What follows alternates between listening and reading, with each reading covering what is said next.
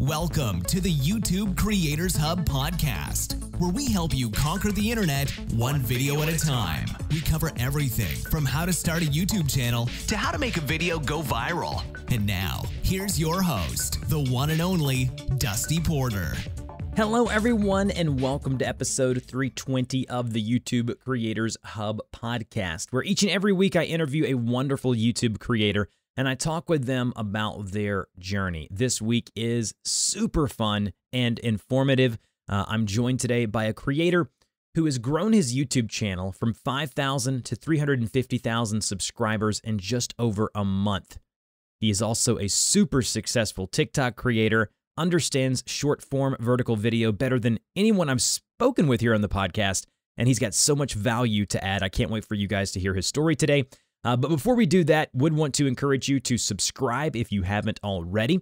If you think you know someone or you would be a great fit for this podcast to have on the show to share your journey and your story on YouTube uh, to help you know give value to others as they listen to this, you can fill out the five minute Google form in the show notes, or you can just hit me up over on Twitter. It's at Dusty Porter YT. Huge thank you to TubeBuddy, the sponsor of this show, and has been now for over 300 some odd episodes. It's the Swiss Army knife of YouTube tools. And if you use our link in the show notes that says try TubeBuddy for free for a month here, you will get, as it says, a free 30 day trial of TubeBuddy, and you will not regret it. It'll shave hours off of your YouTube workflow. Not to mention, once you get inundated in their systems, you'll be able to dive into things that will help you A B test thumbnails uh, bulk replace things in your descriptions, navigate YouTube much easier, and that's just a tip of the iceberg as to what TubeBuddy can do. We're also brought to you by the fine folks over at patreon.com slash dustyporter. Uh, if you support us at the analyst tier or higher, you will get shouted out on one episode per month. This week, we have Silas Swaim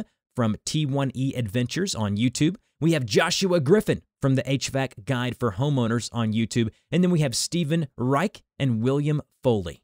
Thank you to our analyst this week. I really appreciate you guys. It means a lot to me that you would support the show. If you haven't already, I want to encourage you wherever you are listening to this podcast, whether it be Apple Podcasts, Google Play, Stitcher, Spotify, iHeart, it does not matter. Subscribe. It's free. There's no paywall. You get this every Friday, 6 a.m. in your feed, ready to go for the weekend to help you maybe make a light bulb go off, get a little bit of strategy or technique from the interviews and conversations. I have done over 310 interviews on this podcast. None of them are old, none of them have expired. You can go back in your free time, if you have that time, as you're walking, working, commuting, and listen to these interviews. Be encouraged.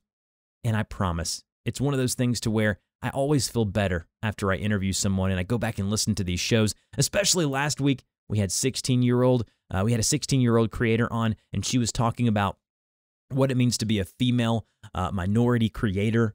There's just so many positive things happening from this podcast. I cannot mention them all here. But before I get too much into the, the weeds here, I'm going to go ahead and jump into this week's conversation. I hope you guys enjoy. Hello, everyone, and welcome to this week's conversation on the YouTube Creators Hub podcast. Dusty here, as always, joined today by Austin Armstrong, who is a lifelong digital marketer, public speaker, host of the TikTok podcast BusinessTok, and CEO of Socialty Pro an organic SEO and TikTok marketing agency. Austin has posted over 2,000 videos on TikTok, tripling his own business's revenue and thousands more across his clients' accounts.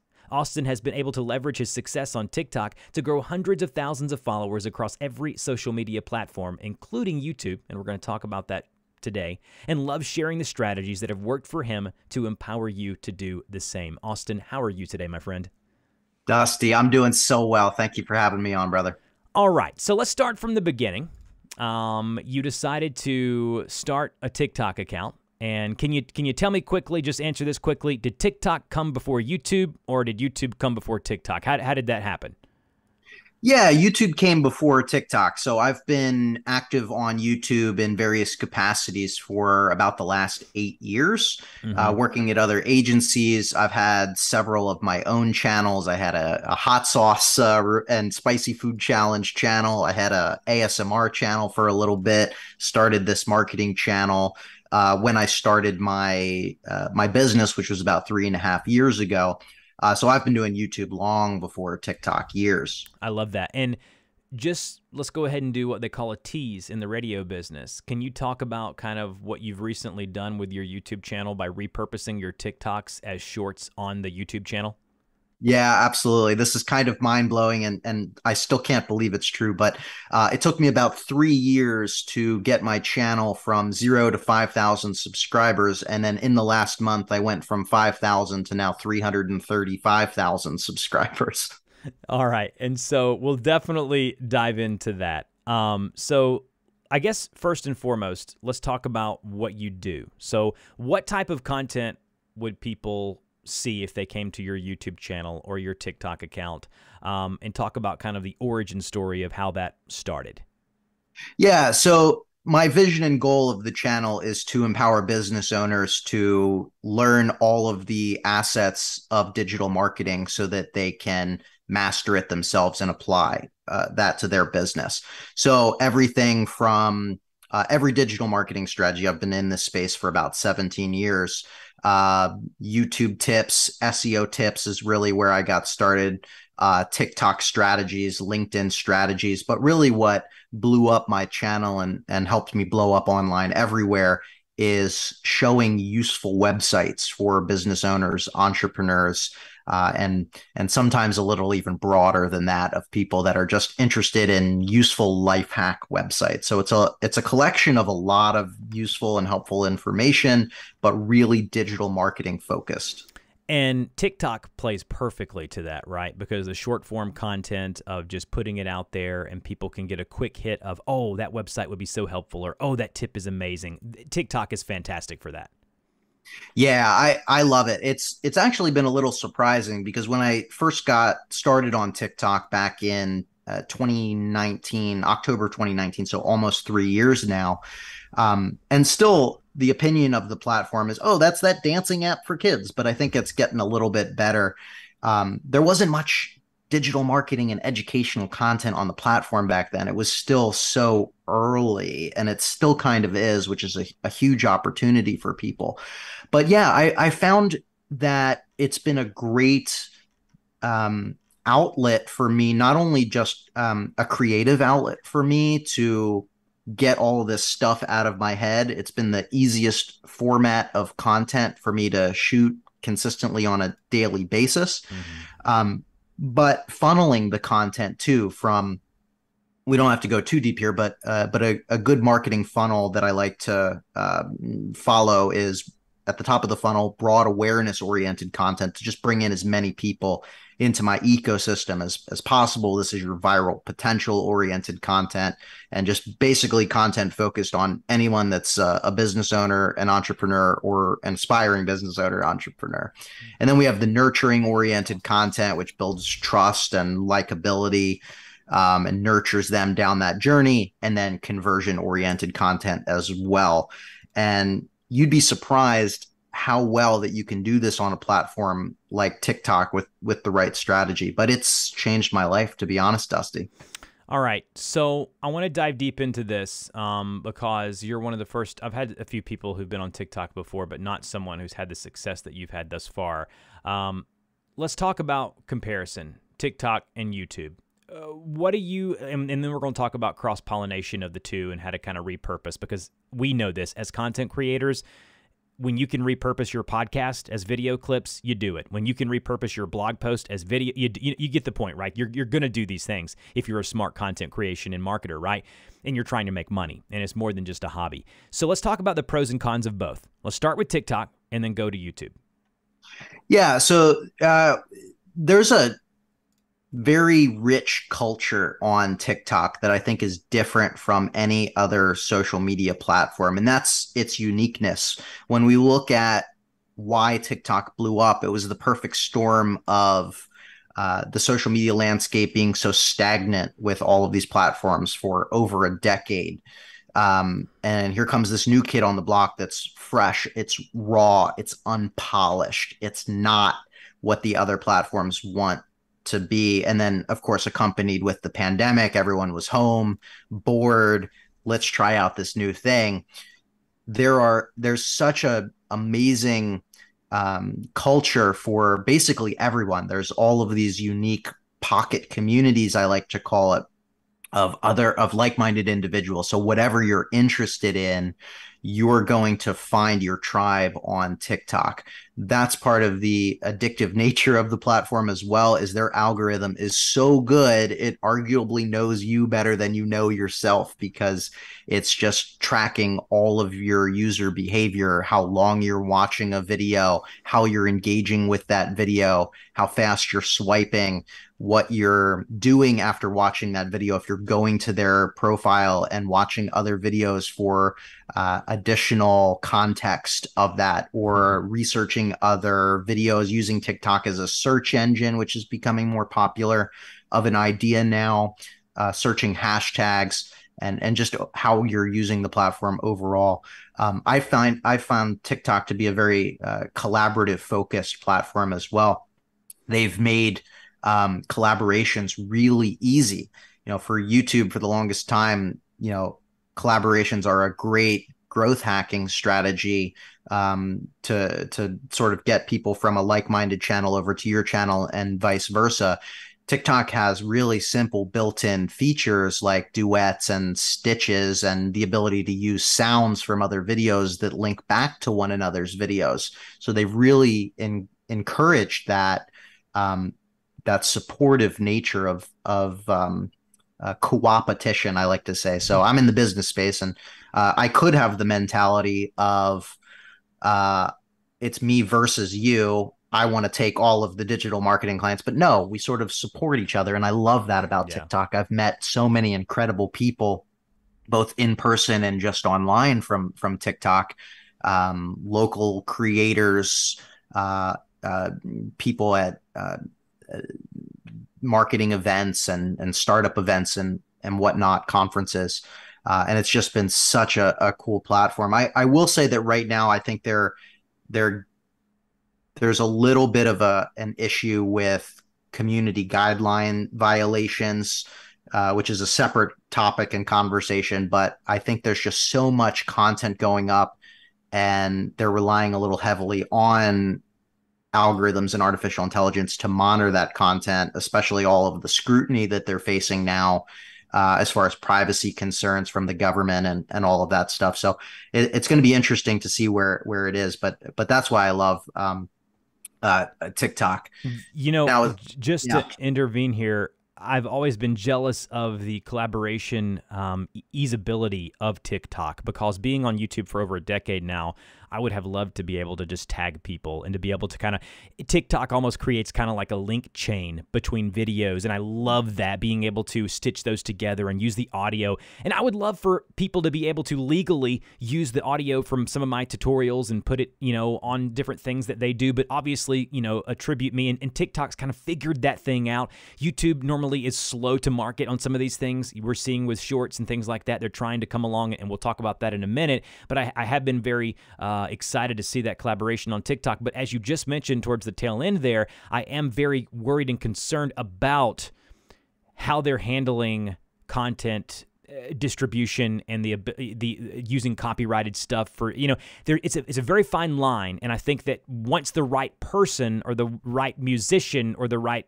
film gets ripped or whatever it is, and the person wants to take that to court, I'm just afraid of the repercussions of that and the viability of monetization beyond bringing folks to your business, which is obviously what you're doing right and, and finding ad revenue. And we'll talk about that. So now transition over to YouTube and what you found there. Yeah, I mean, YouTube is is such a more mature, phenomenal platform. I, I found that there, so there's a culture on YouTube as as well uh, but more so around long form content, right? Um, less so around shorts, uh, which is the newest uh, product and, and feature that they've rolled out. Shorts, I think, in general, are so broad right now that the the content that so you can go deeper on tutorials and how tos and educational stuff on short form vertical on TikTok, but it's really not there yet on YouTube Shorts like it is on long form uh, content for for YouTube. And this is coming from testing literally hundreds of uh, of YouTube Shorts repurposing. I probably posted Dusty over 600 YouTube Shorts before I was like, this isn't working. I need to switch this up. Um, and and when I went super broad with it and only started to do top of funnel, that's when it started to to grow. Explain um, explain what that means. Like you talked about, you did 600. Yeah. You kind of threw a bunch at the wall. What does that mean? Top of funnel. Yeah. So the the the what the videos that did not work were shorts like here's uh, uh, an SEO backlink strategy you've never heard of before. Mm. And that's really specific for a short that limits an audience that only has a website, only is focusing on SEO, knows what a backlink is in the first place, and has the time to learn that knowledge and actually apply that, or maybe an agency owner. And that's a very limited set of of people. And so what I found was that really specific uh, topics and titles titles that gave what the video was about away in the title would turn people away from it in general. So if they mm-hmm. discover it on the short shelf and they have no idea what SEO even stands for or they're not interested in that, they're going to immediately swipe. And the the first second, 2 seconds is so important on short form vertical video because our attention spans are terrible and there's just infinite amount of content with the flick of a finger. And so I went top of funnel and and for me that's useful websites. And literally the titles of the videos would be like top 5 most useful websites. Well, what are those websites? Who's it for? Do I need these? Do I know about them? What am I missing out on? Right? It causes intrigue, it causes interest. It it it, expands that bubble and network of who is this content for and causes that intrigue. So that's that's what I really mean as as far as narrowing down versus top of the funnel on on shorts. And I think shorts will get there as it becomes a more mature platform, but right now it's just so broad. How do you capture, you know, we talk in the YouTube world about capturing the first 5 to 7 seconds of a long form video, and you just mentioned we're now taking that down to the first second. And you're extremely right, because if you've ever used short form vertical video, whether it be YouTube Shorts or TikTok, and I know myself personally and my usage, if you don't get me in that first second or two, I'm done. I'm swiping up, man. I'm gone.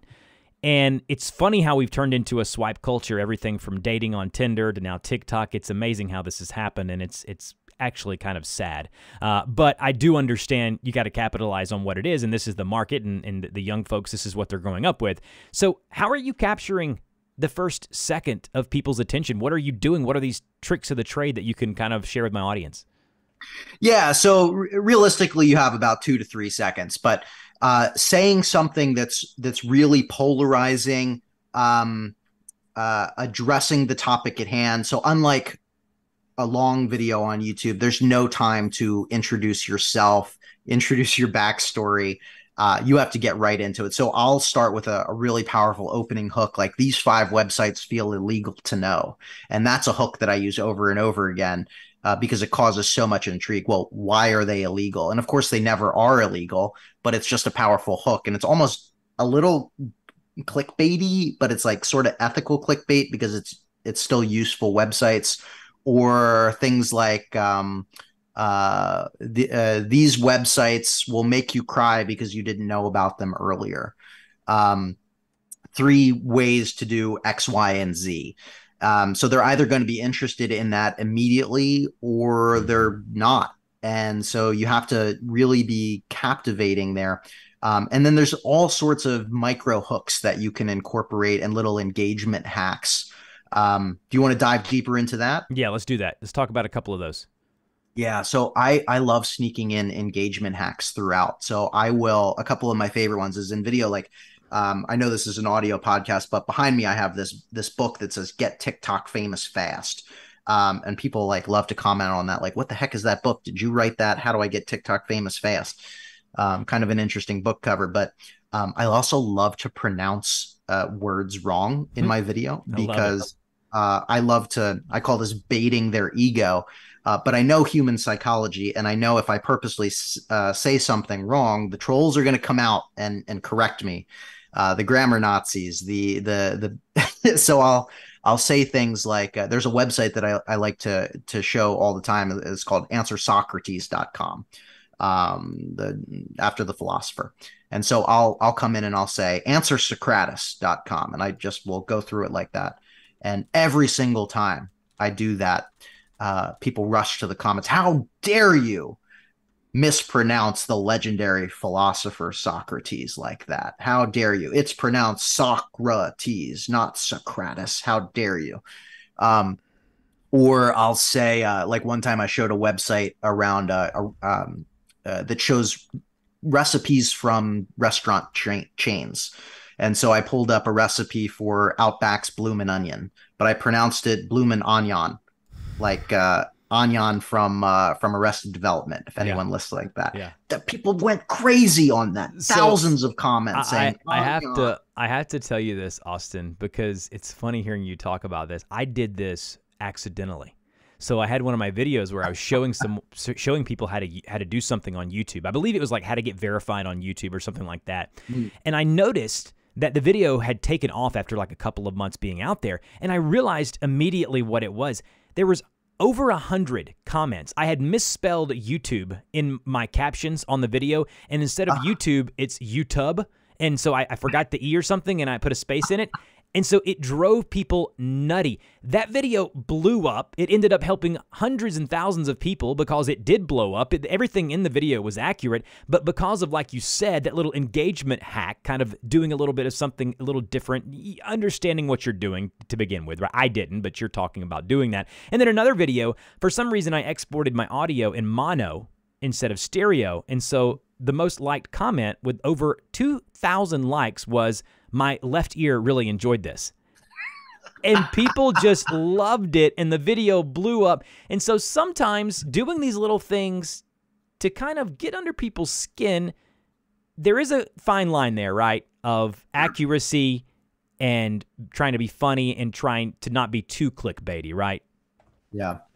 Yeah, uh, uh, of of course, and you have to be a little thick-skinned too, because absolutely, no, knowingly do this will trigger the trolls. But you know, just like you said, Dusty, the if the information in the video is actually genuine and helpful, you're going to reach and help more people, and the the trolls are just going to help fuel that. So for every single troll that you get, you probably have helped uh, a hundred other people. Uh, just one one other quick one that I that I love to do too. So I always on my short content, um, I show the URL of the website that I'm going to share.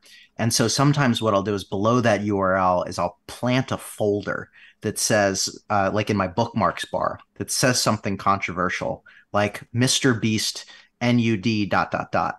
And that people, and I never mention it, but it's just right there in the middle of the frame. So people, you know, another really important thing for shorts is is that view duration and rewatch rate. So you really want people to not just watch it once, but to come back again. Uh-huh. And so if you just show that for a second there, they're going to be like, "What?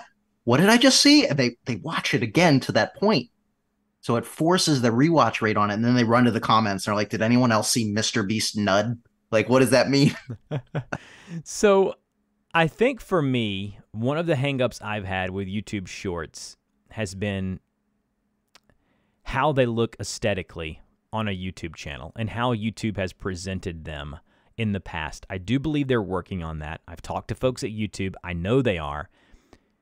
What kind of advice can you give to YouTube, first and foremost, on what you would like to see um, and how they present them because I, I, wish there was a way to kind of categorize them and on your channel separate shorts from long form video. I wish they'd come out and say that shorts do not affect your algorithm ranking for your long form stuff. I wish they'd come and say a lot of things. What would be your biggest wishes with kind of how YouTube is or, or kind of handling shorts and vertical video right now? Yeah, I, I think they're they are working on a lot of these things right? So like on on your channel page uh, it already indexes your shorts into like a playlist uh, functionality. So so perhaps more playlist features and the ability to customize that. Um, i'm also thinking like in regards to how tiktok does it uh, that they have search functionality so so maybe shorts like a, a separate search area for shirts but but i guess they have that tab already on desktop and mobile to view shorts correct And I saw even recently they have a, a short shelf on desktop now, not even mobile. So I think they are doing a, a, a pretty good job. I, I, can't think of anything offhand as far as uh, placement. Um, one thing offhand is is um, the ability to view uh, the description of that video yes. when you're in the short shelf is a little confusing. You have to know to click on you the do. three dots in the lower right corner mm-hmm. and then click on description to actually view that. Yep. Um, yep. And I've I've made comments in the videos like click the link in the description to go to my you know lead gen thing or whatever I'm promoting, and they're like, I can't see the description. I'm like, well, you you can, you just don't know that you can.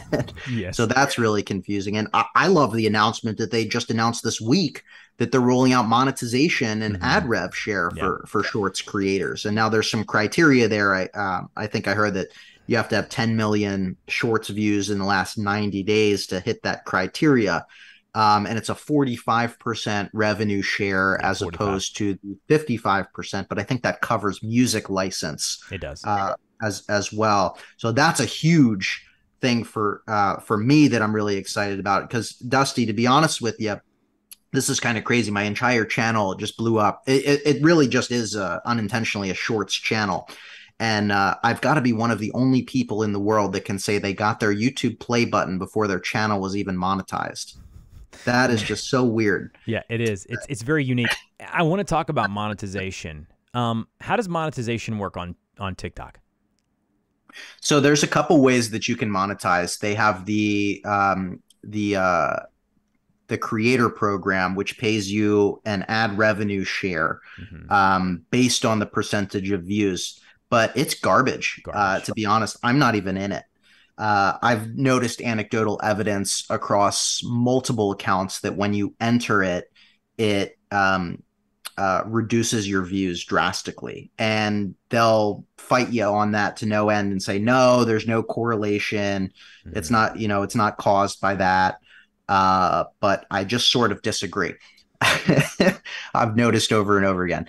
And and so it's so garbage that um like when I was in it and I've jumped in and out of it several times, but reaching 10 million people per month, I'd maybe make $200 per month.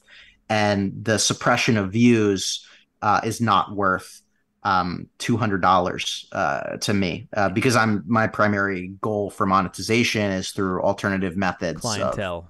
Clientele and digital downloads and affiliate marketing and so brand so, deals and all this all this good yes, stuff. Let, us speak about that for a minute. How are you making money? Like what what are what are your what are you, what kind of eggs are in your basket? I always tell people to diversify, uh, spread it around a little bit. Talk about how you're making money from your vertical content. Yeah, so I try to diversify in a lot of different ways. So we have uh, the the primary focus right now is is client acquisition. So we're a full service digital marketing agency. We help businesses with uh, their TikTok strategy, TikTok management, video editing, but then we also have a whole uh, search engine optimization team as well. Um, so just gaining clients is is the primary focus, but uh, I also monetize through brand deals. So I do three or four brand deals uh, per month with various companies promoting uh, their products and services. I also have quite a few digital downloads and assets. So online courses, uh, uh, paid ebooks. Uh, I also do affiliate marketing. So because of the useful websites that I share, uh, I drive them into um, uh, an opt-in page to get a list of all of the useful websites that I share, and that list happens to be affiliate links that I sign up for. So I just drive people there, capture email. Um, they get put into a, a, a drip email sequence um, and that sells hourly consulting, uh, which is another monetization avenue. I also do um, uh, UGC content sometimes. So if they just want somebody that knows how to create short form vertical video, but they don't necessarily want to advertise on my platforms, uh, I've done that before. Also, I've promoted um, websites uh, in the past that have done well uh, just from me organically finding them. And then the company reaches out and says, Hey, uh, can we buy the rights of this video for you? Uh, and so that's been uh, that's that's worked before. Um, client referrals too. So if I can't take uh, a client, but I am affiliated with another business that can, uh, and I refer them to them, they typically will give me a commission hmm. uh, if that prospective client lands there too. But it, it's so important to uh, diversify your your income streams because if one gets cut off, then yep. then you're screwed. Yeah, hundred percent agree with that. Um, kind of in the last few minutes here before we close out, I want to talk about how you can take your YouTube stuff and repurpose it on TikTok. Um, yeah. What what are what are your thoughts on that? Someone is on YouTube, they're intrigued about getting into short form content. Maybe they've dabbled into YouTube Shorts, maybe they haven't. Uh, what would be some of your recommendations and go tos for that that individual? Yeah, so you can definitely repurpose some of your YouTube content. Um, I would uh, it's got to be vertical. You don't want to uh, clip it as a as a horizontal clip, and then you have the because what happens is um, it displays as as vertical content on TikTok. But if you just upload that in its native horizontal uh, format, it's going to have a giant black space above it and below it, and it just doesn't look as good. No. So I would you know clip out. Uh, really 45 second or less ideally 30 second or less segments from your videos, punch in on them so it's it's it's you, it's just the body. There's no other stuff on either side of you. Um, and YouTube allows you to do that now, I believe, from yeah. the, from the back end. That it's something a new feature that may not be rolled out to everyone, but there's a way to allow people to even create short form stuff from your content now as well. Just for people that don't know that. Yeah, I haven't done that, but that's a that's a great uh, thing to test and and something that they could they should consider rolling out uh, as well. Um, as far as you know, editing and and whatnot, you want to make it you want to have a really good uh, intro point and exit point uh, because again, that opening hook is so important to capture their attention. So you know, starting that clip with a, a very you know saying a, addressing a question, a topic, saying something polarizing. Um, working in quick cuts throughout the content too. So even if your video is is not like this horizontally, and after you punch in, you know, punch in a little bit more, like throw, uh, make sure you have like hard coded subtitles on, which you can use CapCut to do this, or uh, throwing emojis on the screen, or incorporating B roll. You really should have some sort of cut every two to three seconds, something flashing on the screen, something that uh, that retriggers the dopamine re- receptor so that viewers don't get bored. I, I love that. You have had so much value to share with us today. I appreciate it. Maybe we can have you back on, you know, in a year's time and talk about kind of the updates of, of what's going on in short form content many people who've done YouTube for a long time, who are YouTube uh, lifers or you know the, the old the old heads, whatever you want to call them, they're afraid of vertical content. Uh, I'll put myself in that category as well. I will say this: I wasn't sold on it to begin with. I am definitely sold on it now. I think there are definitely some kinks to iron out, whether it be monetization, whether it be how it's shared, whether it be how it's displayed on YouTube. But it's here to stay, uh, and it is the the way of the future. Uh, I, I don't believe long form content is going anywhere. I don't know if you agree with that or not, but I think podcasts have never been more popular. Uh, long form type stuff has never been more popular. People are consuming just as much content. Uh, you know, they're just kind of diversifying where they're spending that time, whether it be short, long form podcast, whatever it may be, right? So, with that being said, do you have any closing words for us before we hop off? No, I, I think there. You're exactly right. There's always going to be um, uh, an audience and a need for long form content. Um, but you need to embrace short form vertical video content. Um, it's a natural progression uh, of of content. I don't want to go too long down a rabbit hole here, but it's it's it's a consolidation of flipping that phone sideways to view vertical or to view horizontal content. We're on our phones all day. It's it's a natural positioning for our wrist and for our hands to consume vertical content. That's why it's gone that way, in in my opinion. We're seeing vertical content not just adopted across every social media platform, but in our lives. Pay attention to uh, television, uh, watching ESPN. You're going to see highlights uh, in vertical format because these these videos are being picked up by news channels. Um, vertical video is everywhere. It's just an additional outlet and you can leverage short form vertical video to drastically grow all of your long form content as well. Could not agree more. Uh, Austin, thank you so much. Uh, let folks know where they can get in touch with you. Yeah, thank you, Dusty. So you can follow me any platform you want at Socialty Pro. uh, across the board. And uh, I would recommend checking out my uh, podcast, BusinessTok. That's Business T O K. If you'd like to learn how other business owners are leveraging TikTok to grow their business. Could not agree more. Austin, thanks again, and we'll talk to you next time. Thank you. You've been listening to the YouTube Creators Podcast. We want to thank you and invite you to subscribe to the show, as well as support us on Patreon for great perks, such as having your YouTube channel featured on the show and a link on our website. Until next time, keep uploading those videos.